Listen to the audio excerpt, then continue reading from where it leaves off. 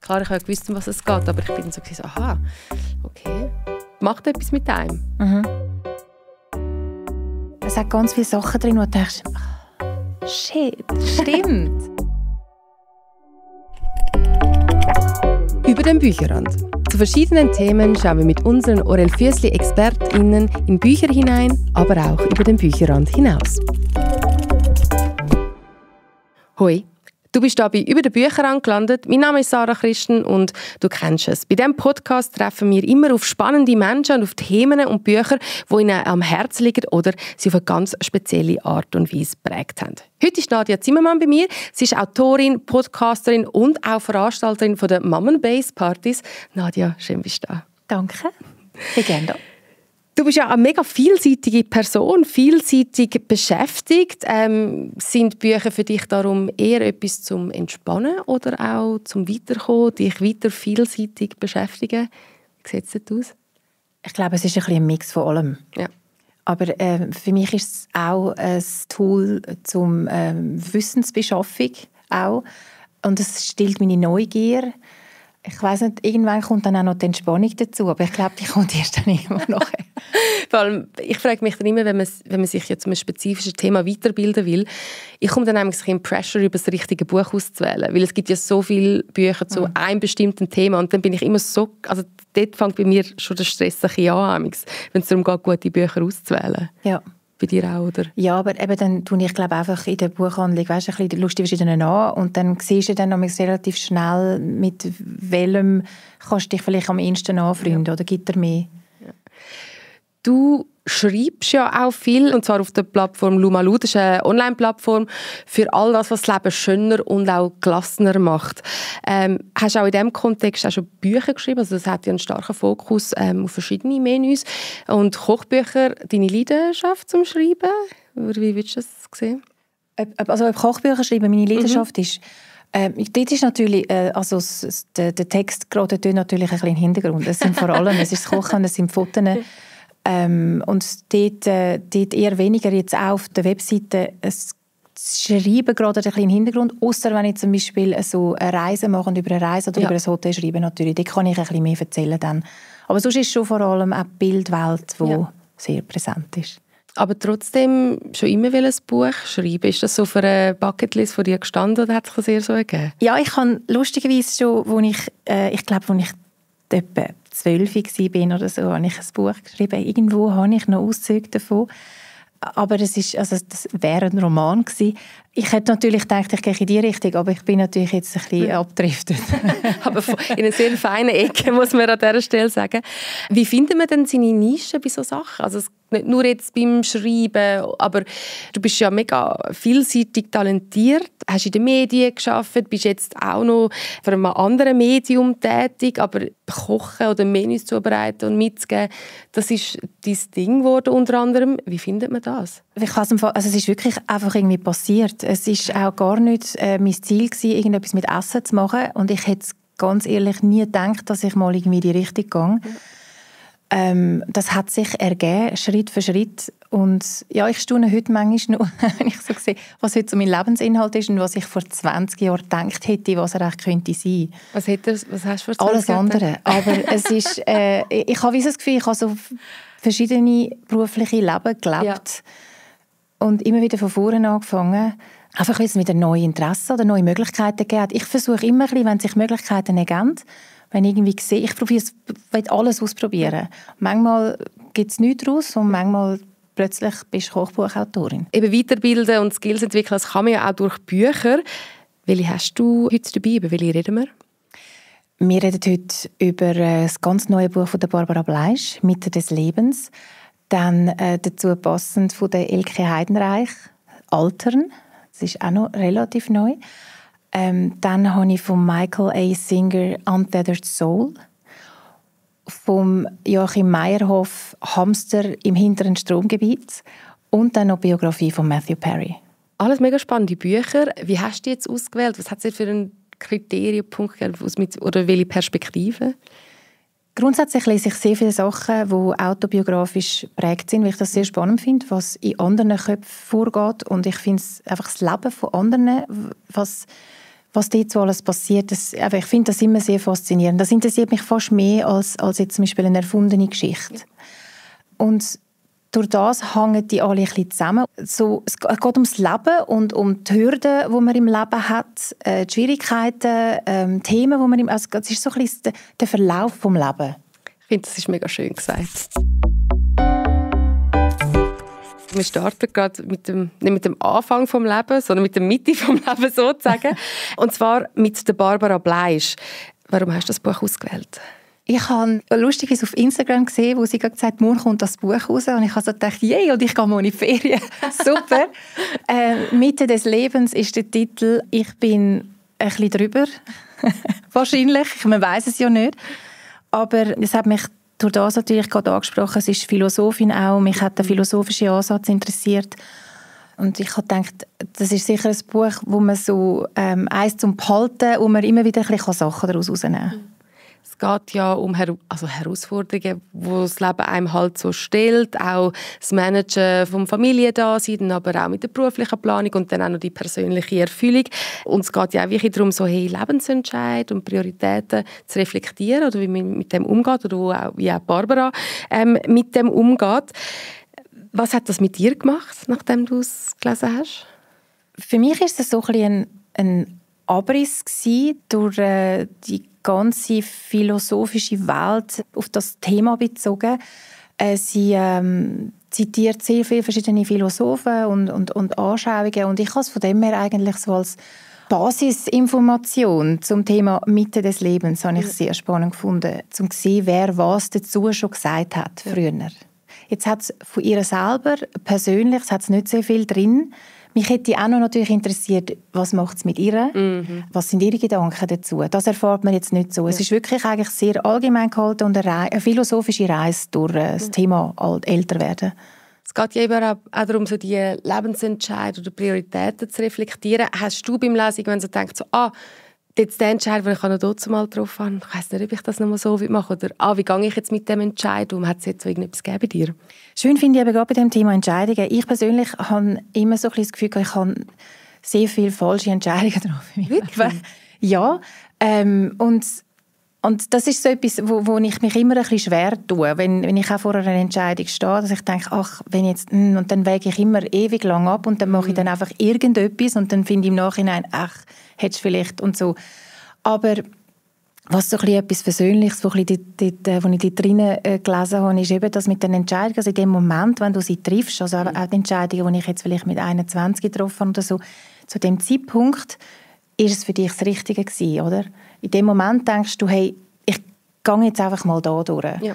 Und im Nachhinein denkst du vielleicht, das ist vielleicht nicht so gut gewesen, aber für den Moment hat es gestimmt, also kannst du dir selber auch gar nicht vorwerfen. Man hat mega eine Tendenz, gell, sich selber fertig zu machen. Hätte ich etwas. doch, hätte ich doch, ja, oder? Ja, also genau. das hätte ich doch, wenn nicht, wenn, das, ja. das finde ich ist man so streng mit sich selber, was das anbelangt und ich finde immer so den Umgang, den man mit dem selber hat, wie wenn meine Freundin die Entscheidung getroffen hätte, hätte ich sie, glaube ich, meistens sehr wahrscheinlich in dem bestärkt. Von, hey, nein, du bist dort eben 21 oder so. Aber mit sich selber ist man immer so ein kritisch, was das ja. anbelangt. Man ist sehr streng mit sich und man ja. redet mit sich auch anders, als man mit seinen Freundinnen ja. reden oder? Wie streng bist du mit dir selber? Ich bin netter geworden. ich bin, ich habe, äh, ja, das, also ich habe mich jetzt nicht gerade fertig gemacht, das Nein. schon nicht, aber ich habe, ich habe sehr hohe Erwartungen immer an mich gehabt. Mm aber ich glaube, das hat, das hat ein bisschen nachgelassen. Dass ich eben mit einer gewissen, oder mit mehr Leichtigkeit ein bisschen durchs Leben gehe. Und eben auch sagen und versöhnlich kann sagen, hey, jetzt habe ich das halt gemacht, das hat dort so gestimmt, ist jetzt, man weiß ja nie, was gewesen wäre, wie, ja. wenn du jetzt anders entschieden hättest. Priorität und Ziel ist auch etwas, das behandelt wird bei der Barbara. Das habe ich mega spannend gefunden, so die Reflexion, okay, so was sind jetzt effektiv meine Ziele? Also nicht einfach, hey, ich will jetzt das und das machen, sondern was will ich wirklich? Das ist auch eine Frage, die uns generell immer wieder umtreibt ähm, als Menschen. Was sind so deine Ziele und Prioritäten aktuell? Eben wenn es darum auch geht, Balance zu haben, du hast verschiedene Sachen am Laufen. Was, was, wie sieht das jetzt gerade bei dir persönlich aus? Also schön habe ich gefunden, jetzt auch gerade bei der Lektüre von diesen Büchern, dass natürlich eben weiterhin äh, Ziel zu haben und nicht einfach mm. nur, dass, ist, dass es noch wichtig ist oder dass dich lebendig behältst in dem Sinn. Aber ich habe eigentlich, ich sage, ich habe ein übergreifendes Ziel, aber das ist eigentlich sehr allgemein gehalten muss ich aber auch allgemein halten, wie sich bei mir vieles immer wieder verändert und auch ähm, Bedürfnisse und Interessen wieder verändert. Ich möchte einfach Freude haben an den Sachen, die ich mache. Und ich suche dann immer wieder, ich finde immer wieder neue Sachen und ich finde, ich möchte jetzt äh, dieser Sache mehr Lebenszeit schenken. Und ich glaube, ich bin dann immer irgendwie so ein bisschen am Jonglieren. Das ist eben noch ein wichtiger Punkt, Lebenszeit. Die ist mir heilig. Schön. Und ich möchte wirklich, ich mache zu 90 oder vielleicht sogar 94 Prozent nur Sachen, die ich, äh, die ich wirklich gerne mache.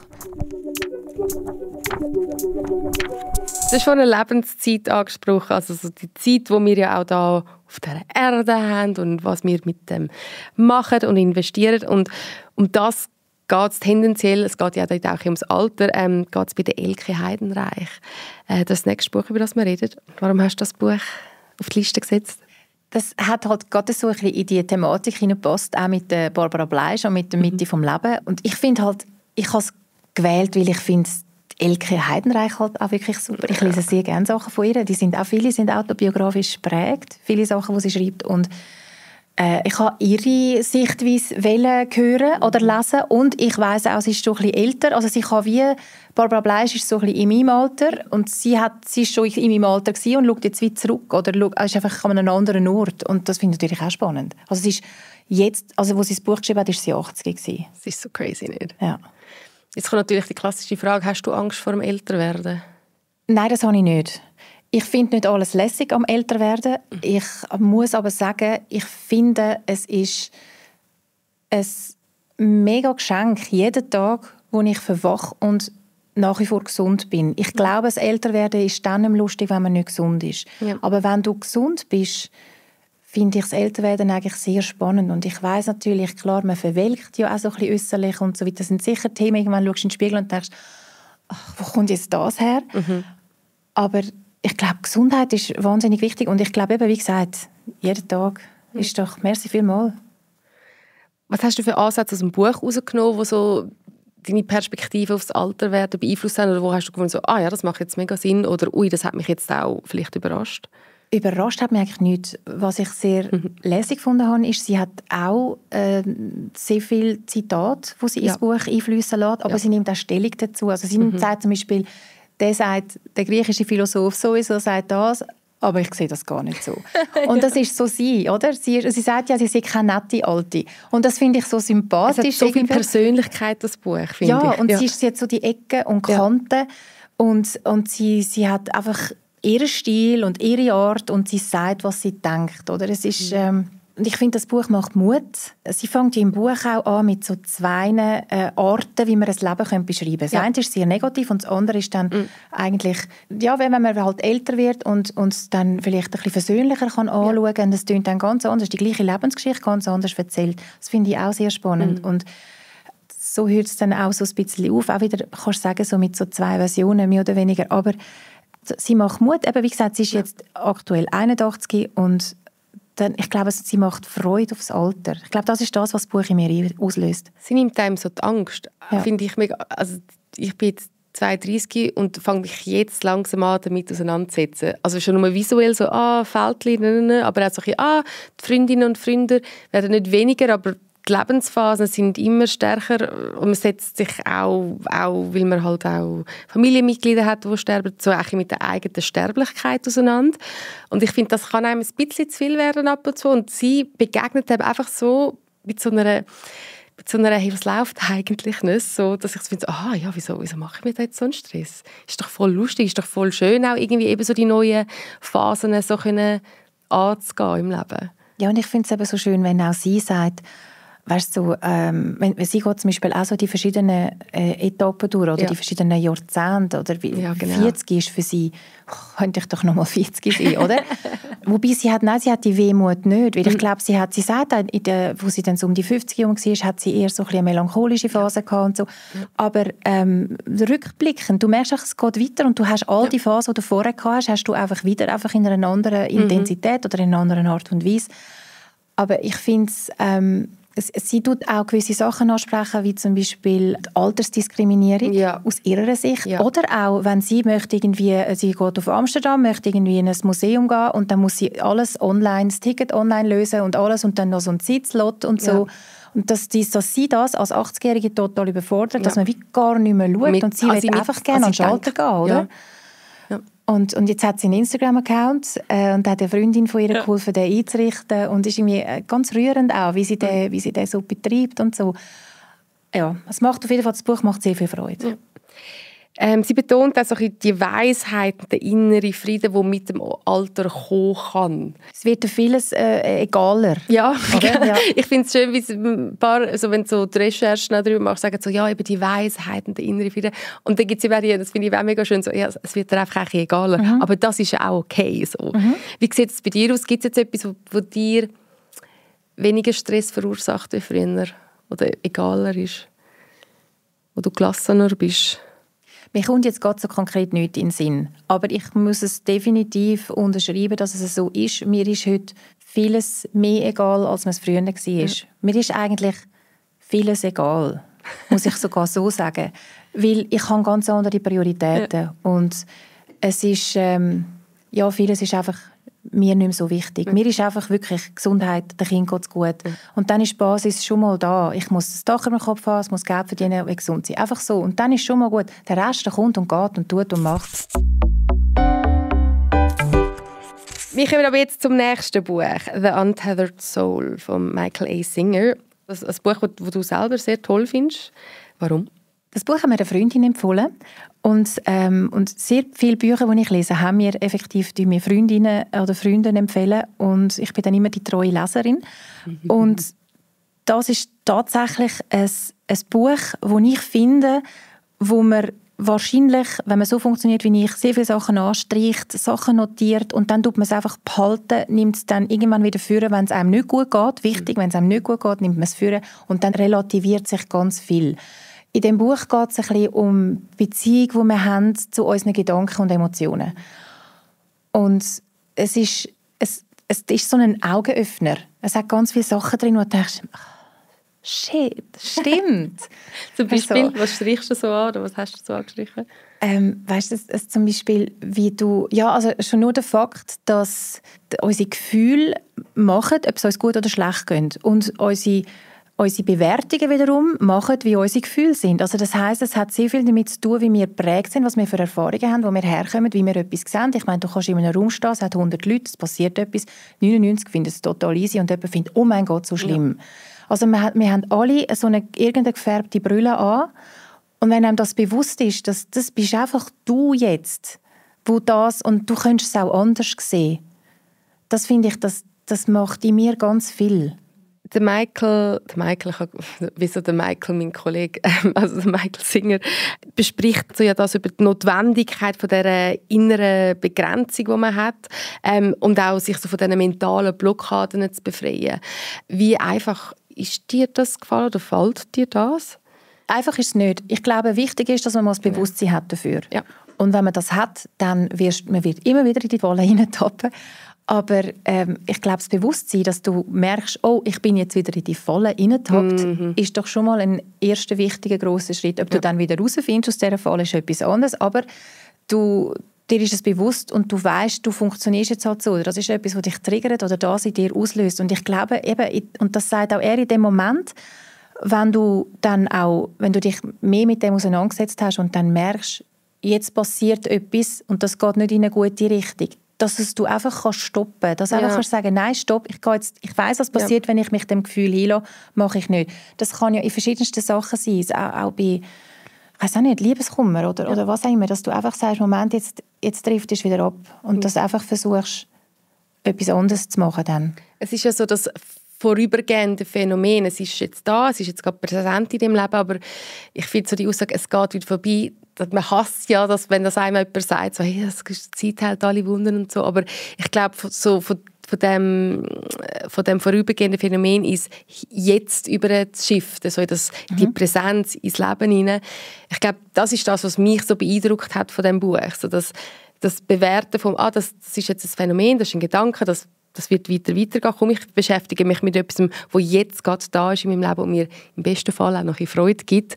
Das ist so das, was mich bei mir so in dem Moment so ausgelöst hat. Ja, genau. Sehr mhm. vieles ist weniger schlimm jetzt gerade in dem Moment, ja. weil man beschäftigt sich mit der Vergangenheit ja. oder mit der Zukunft, wo vielleicht dann gar nicht so wird sein. Mhm. Aber jetzt im Moment ist häufig einfach alles gut. Das ja. ist übrigens auch im, äh, im Eckhart Tolle, im Buch «Jetzt» ist doch das auch so das Thema, du, dass du immer wieder gehst ins, ins, ins Jetzt und einfach, was ist jetzt, weil du kannst man hängt so viel einfach der Vergangenheit nach. Ja. Und, und das erzeugt dir dann wieder die Gefühle und dann bist du wieder in dem Strudel rein und dann äh, und so. Und, und eben, sind wir wieder bei der wertvollen Lebenszeit. Ja. Es ist wirklich schade, oder? Mega fest. Ja. Aber ich glaube, du und ich haben uns jetzt schon so mit dem auseinandergesetzt und wir reden so darüber, das wäre so mega einfach, mhm. easy mhm. so.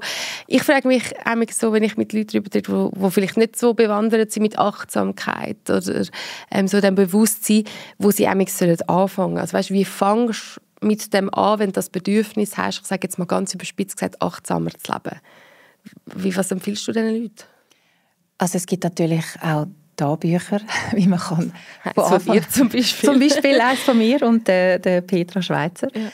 Äh, wir haben das zusammengeschrieben. Wir haben das eigentlich genau aus dem Grund gemacht. Es ist eigentlich wie für, für Anfänger. Wir haben so ein Schritt-für-Schritt-Programm, wie du wirklich mhm. kannst anfangen machst. Am Anfang machst du eine Bestandesaufnahme. Was ist denn genau? Was stresst mich gerade? Mit was mhm. habe ich jetzt gerade Mühe? Du kannst es auch direkt ins Buch hineinschreiben. Mhm. Aber dass du so wie Schritt für Schritt die Themen durchgehst. Du gehst wie das Thema Angst, das Thema Glaubenssätze. Ja. Ähm, weil schlussendlich bei all diesen Büchern, du, du erfährst eigentlich immer die gleichen Sachen. Es kommt darauf an, eben, wie, wie fortgeschritten bist du jetzt, dass etwas Anklang hat oder nicht. Aber es, die Vorgehensweise ist immer das Gleiche. Zuerst mal bewusst werden und dann einfach Schritt für Schritt die Sachen ein bisschen anschauen und verstehen, wie man funktioniert. Absolut. Für die, die es interessiert, das heißt Seelendetox, wie wir uns von negativen Verhaltensmustern lösen.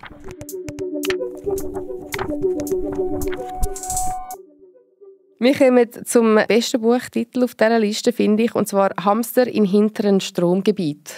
Ich liebe es. ähm, vom Joachim Meyerhof. Warum hast du das Buch ausgewählt?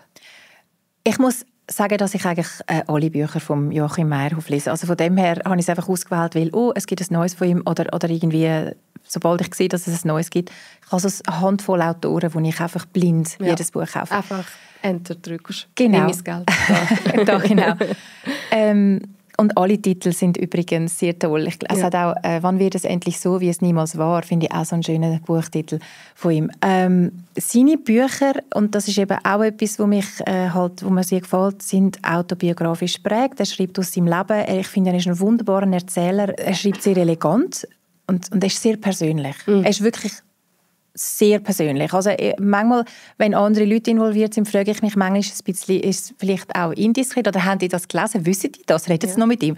Aber ähm, und jetzt gerade jetzt in dem Buch geht es darum, dass er vor also er ist 51 ich glaube, das war 2018 gewesen, hat er einen Schlaganfall gehabt ja. und ähm, er tut eigentlich ziemlich genau beschrieben, was, äh, was so passiert und ich in dem Buch, ähm, schlussendlich, meine, er, er ist einfach dann in der Intensivstation, er kommt dann auf die Bettenstation und wird dann entlassen. Und, aber er, es passiert sehr viel in ihm inne. Also schon nur, du hast einerseits so ein das österreichische Gesundheitssystem, wo mir ein bisschen zu denken gibt, weil am Anfang muss er wie fast 25 Minuten warten, bis der Krankenwagen überhaupt kann losfahren kann, weil sie nicht wissen, in welches Spital und nachher kommt er irgendwo an und dann wissen sie nicht, wohin mit ihm. Also es vergeht etwa eine Stunde und Schlaganfall ist einfach etwas, muss schon relativ schnell handeln.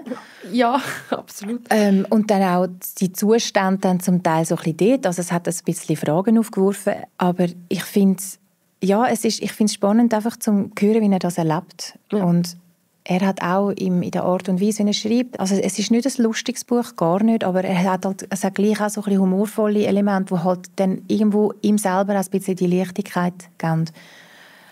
Und ich finde, es ist auch ähm, die Liebe, finde ich, ist ein grosses Thema, die Liebe zu seinen Kindern. Die Liebe, die äh, nicht mehr da ist zu seiner äh, Ex-Frau, die mhm. die Mutter ist von diesen zwei Kindern, oder wo erkaltet ist sozusagen, die Beziehung zu der neuen Partnerin und das Kind, das er mit ihr hat. Schuldgefühle zum Teil, äh, also es passiert sehr viel. Mhm. Wie wichtig ist Humor in dem Ganzen für dich? Allgemein wie im Leben? Wie begegnest du Humor und Leben? Also allgemein im Leben extrem wichtig. Oder? Ja. Sehr wichtig. Und jetzt gerade speziell in einer Situation, ja. glaube ich, ich finde es schwierig, dort überhaupt noch einen humorvollen Ansatz zu finden, weil ich glaube, ich, ich wäre so plagt von Angst und Sorge. Und das ist er auch. Also auch halt, wenn er die anderen Patienten äh, beobachtet oder so Details sieht beim, äh, mm. beim Pflegepersonal, Sachen am Auffallen und so weiter. Ähm, es ist nicht immer alles auch lieb, muss ich auch sagen. Nein. Also weißt, bei gewissen Sachen, jetzt auch bei Mitpatienten, habe ich dann schon gedacht, das finde ich, also das sind ja reale Leute, mm. oder? Und dann ist zum Teil ist es auch ein bisschen schwierig, aber ich glaube, Humor schlussendlich hilft einem ja gerade in schwierigen Situationen, dass man dass man irgendwo eben auch dort ein bisschen, Leichtigkeit noch irgendwie mag finden, wenn es noch irgendwie geht, oder? Also von dem her ist das eigentlich eine gesunde Herangehensweise. Kommen wir zum nächsten Buch. Dort ist Humor und Trauer und Tragik ja auch sehr nah miteinander verbunden. Und zwar ist das Biografie von Matthew Perry, ähm, «Friends, Lovers and the Big Terrible Thing». Mhm. Wieso du das ähm, noch besprechen Wieso ist das von allen Biografien, die du hättest auswählen können, wieso ist die?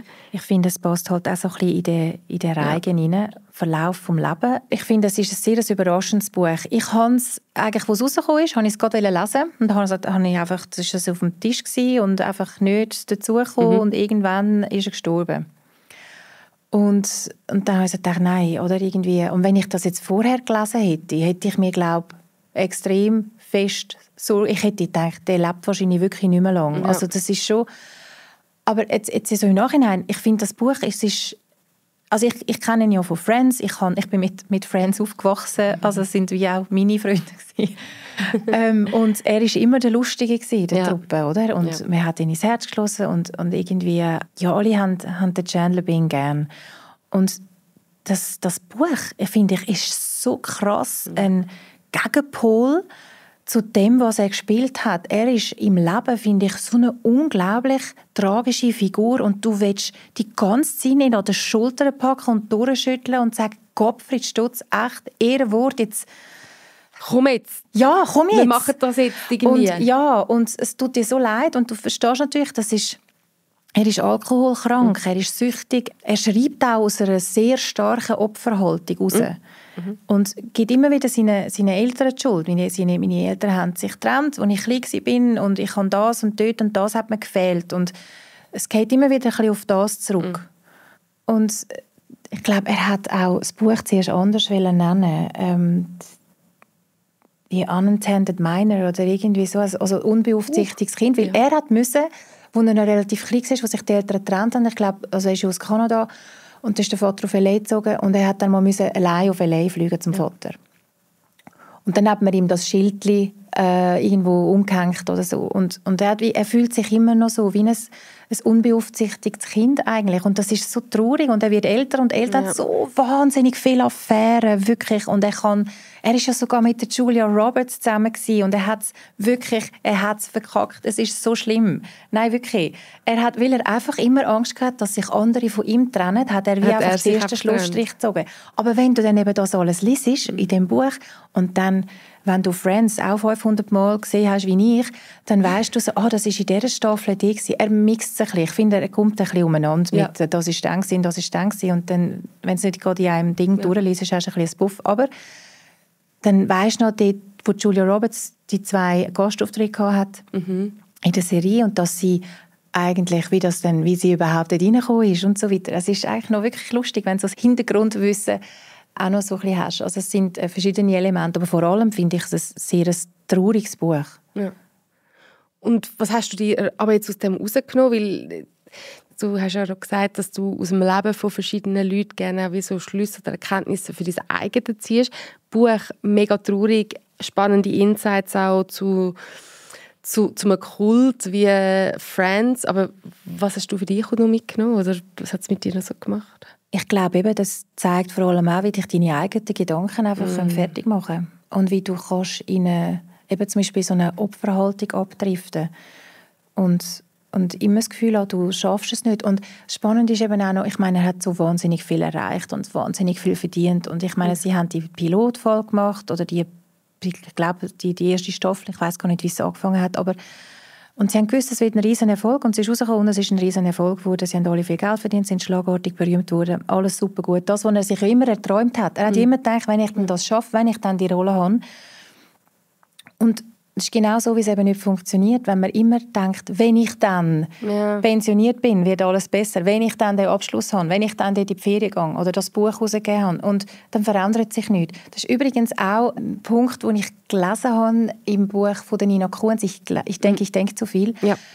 Dann hat sie auch geschrieben über den Arbeitspsychologen, wo ähm, Arrival Fallacy oder den Begriff prägt hat, dass du eben immer das Gefühl hast, wenn ich denn das schaffe, dann ist dann, gut. Ist, dann und bei ihm hast du das so extrem und er hat wirklich mehr kannst ja gar nicht mehr drin. Mm -hmm. Und nachher noch, hat er ja noch den Film gemacht mit dem Bruce Willis ja. und der ist ja dann auch ein Riesenerfolg gewesen, zumindest der erste Teil. Also weißt alles, was er sich erträumt ja. hat und es hat, es ist nichts passiert, weil es ist einfach egal, was außen passiert, wenn sie dir innen nicht ja. stimmt. Ich glaube, das ist das, was ich so daraus nehme. Wir haben jetzt diverse Bücher besprochen, wo man eben vieles von, vom Leben der anderen gelernt hat oder eben von Quotes oder so. Bei deinen Büchern nimmt man vieles mit, was man kann, soll, will kochen. Aber wenn du jetzt so ein eigenes Rezept fürs, fürs Leben könntest machen, für dein persönliche Leben, wo man so könnte, wenn man das so könnte aufmachen und so etwas daraus mitnehmen wie würde das aussehen, jetzt so zum Schluss noch? ich glaube, ganz viel Achtsamkeit für alles, mhm. was man macht und das Bewusstsein, dass man bewusst Sachen macht und sich versteht, mhm. glaube ich, das. Geht das so ein bisschen in die Richtung. es wären ein paar einfache Zutaten, ja. ein einfaches Gericht oder, mit ein paar einfachen Wichtigen und dann einfach noch gut gewürzt. Preisengutnis oben drauf. So. Ja, genau. das fände ich mega schön. Ähm, hey Nadia, ich habe es mega toll gefunden, mit dir zu reden. Ich bin ich sehr inspiriert, irgendwie so. ähm, und darum danke, viel, viel mal bist du da gewesen. Danke, dass ich auch da war. Es hat sehr viel Freude gemacht. Sehr schön, danke. Danke dir. Und dir danke ich vielmals fürs Zuhören. Bis zum nächsten Mal wünsche ich dir eine schöne Lesezeit und bis dann. Über den Bücherrand. Jetzt auf Apple Podcast, Spotify und auf orelfüssli.ch.